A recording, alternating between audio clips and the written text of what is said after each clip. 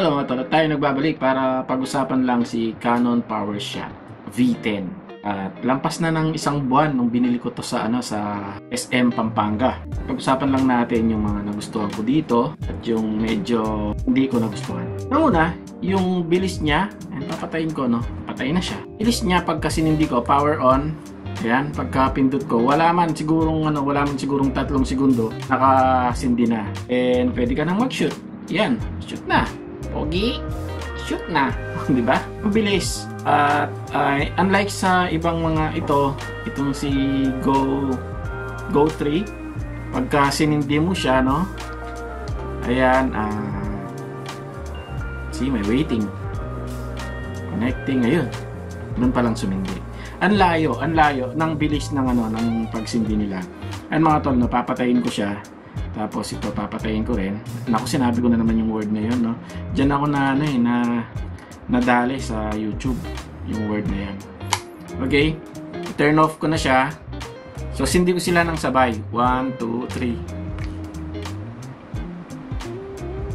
3. Ang layo. Ang layo ng ano. Ayan.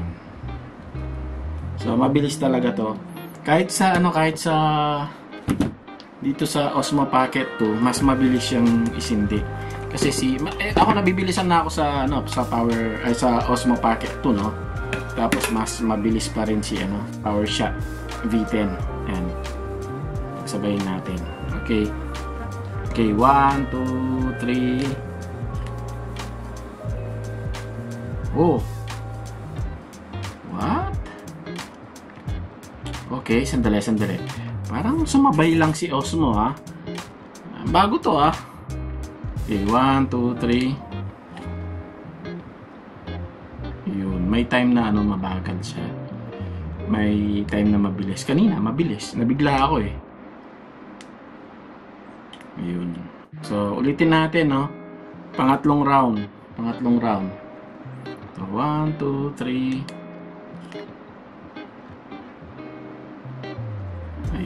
So, mabilis pa rin talaga si PowerShot V10. Na konting difference lang naman. Wala namang problem yun eh. Uh, pero ako, sa ngayon ha, overall, meron akong GoPro, meron akong Insta 360 Go, uh, Go 3. Tapos, uh, binenta ko na yung ano ko, binenta ko na yung X3 ko na Insta 360. Ito man ako mag-edit.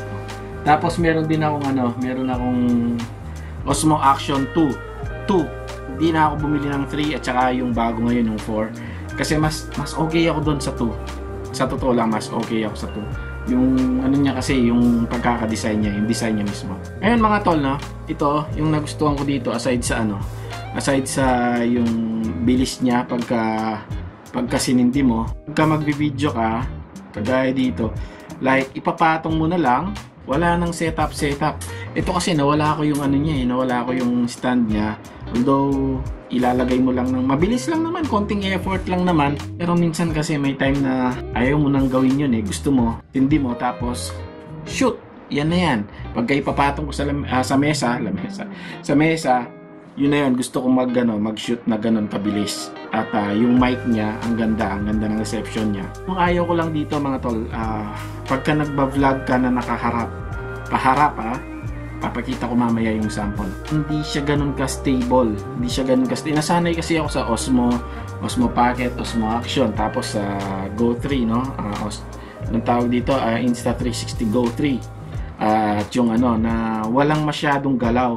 Pero dito, nung sinubukan kong magano, na-disappoint ako actually, di ko na inedit yun eh. Yung binlog ko dito, uh, kahit walang nanonood. Pagka naglalakad ka, nakaharap, paharap, ganon, hindi siya ganun ka ano eh ka-attractive pero kung nakaharap siya sa iyo at uh, nagva-vlog ka lang which is yun naman yung point nito no? Ginawa siya para sa ganun yan. Mag-vlog ka na nakaharap sa iyo okay siya pagka nakaharap siya sa iyo pero pagka hinarap mo sa ano sa sa harap mo malikot talaga. Yun yung pinakaayaw ko dito. Then uh, 4K 20 4K at 30 frames. Uh, sana ginawa ng 60. Kasi ako 60 ako nagsushoot di ako ano eh. Hindi naman ako magawa ng mga ano, ng mga short, short film or what. Mas, mas gusto ko yung ano, mas gusto ko yung 60 frames mga tong. Pakita ko sa inyo yung mga sample clips natin nung ginamit ko siya sa Bukid at ewan ko kung anong anong uh, resolution ng mga na-shoot ko na to. Ayan, chinecheck ko sa PC. Oops, uh, yun yung mali ko. Hindi ko siya na-test sa ano sa 4K. Bali, sinut ko sila ng ano, 80p at uh, 60 frames. So, eto, ito yung mga sample natin. Ayan mga tol, uh, digital IS or digital image stabilization. Image stabilize or whatever. Yan lalakad tayo ng mabagal lang. Now subukan natin yung enhance. Ito naman yung enhance nya lalakad tayo mga tol. Ayan o oh. enhance. Yan siya enhance lakad-lakad lang. Ayan. Ito naman ay naka off lalakad ako. Naka stay lang yung kamay ko.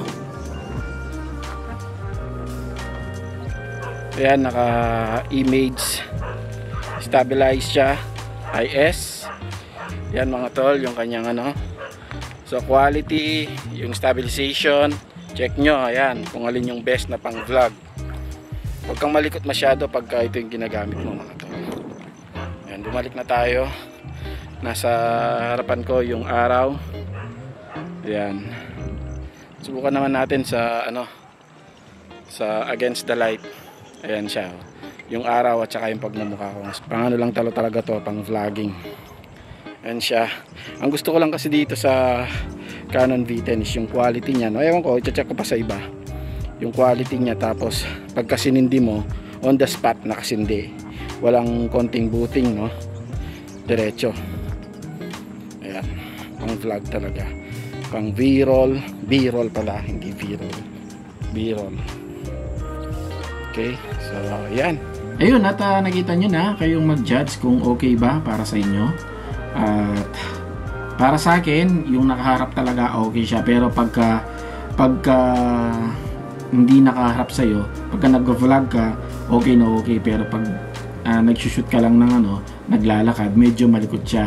Pero kung nagsushoot ka lang nang hindi ka naman naglalakad at uh, ano naman, okay na okay din siya. Yung tipong may inaano ka lang, B-roll lang, B-roll, or ano lang, parang tawag dito pang pang showcase lang ng mga products or what kung ano man yung sinushoot mo basta di ka gumagalaw na malikot okay siya okay yung ano niya uh, stable talaga siya.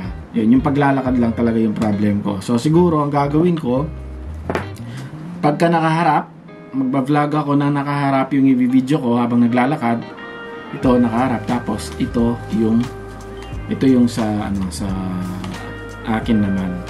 Pero overall pa rin ako 100% Osmo Pocket Osmo Pocket ako GoPro uh, Insta Insta360 at saka sa Action ito pa rin dito pa rin ako sa Osmo Pocket the best pakita ko na rin sa inyo yung ano yung shot ng ano shot ng Osmo Pocket. Uh, dito.